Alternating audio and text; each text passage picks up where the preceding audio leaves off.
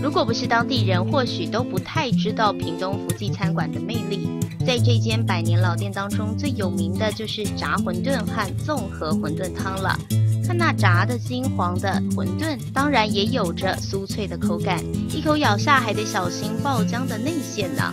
而综合馄饨汤的口感呢，更是独特了。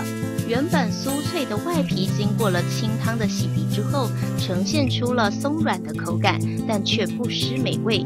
重点呢是内馅当中的韭菜和猪肉，经过了鱼骨的熬煮的汤头来融合，更是营造出了甜而不腻的好滋味。